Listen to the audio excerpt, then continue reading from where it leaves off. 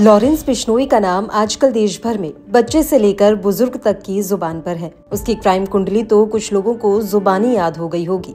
हालाँकि, इस तरह का अपराधी किसी का ना तो रोल मॉडल हो सकता है और ना कभी बनेगा। लेकिन इसके जुर्म की दुनिया बढ़ती जा रही है।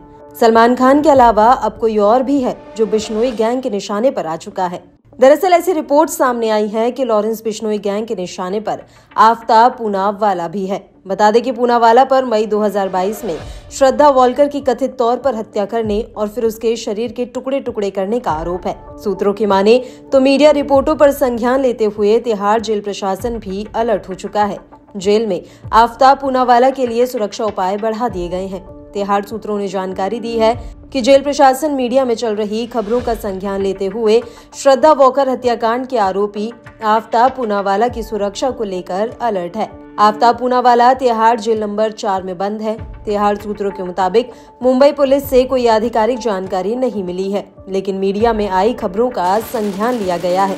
असल में बाबा सिद्दीकी हत्याकांड में पकड़े गए आरोपी शिव कुमार गौतम ने पुलिस के सामने ऐसी बात कही है कि वो आफ्ताब को मारना चाहते हैं। सूत्रों के मुताबिक, आफ्ताब पूनावाला लॉरेंस बिश्नोई गैंग के शूटर्स के निशाने पर है।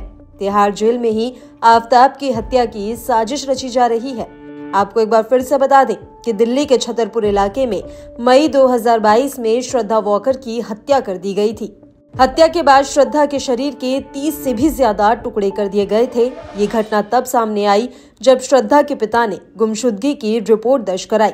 जानकारी के मुताबिक श्रद्धा के शरीर के टुकड़ों को फ्रिज में तीन हफ़्ते तक रखा गया और धीरे धीरे करके शहर के अनेक इलाकों में फेंक दिया गया था। आफ्ताब पूनावाला इस हत्या का आरोपी है, जो अब लॉरेंस बिश्नोई गैंग के निशाने पर आ चुका है।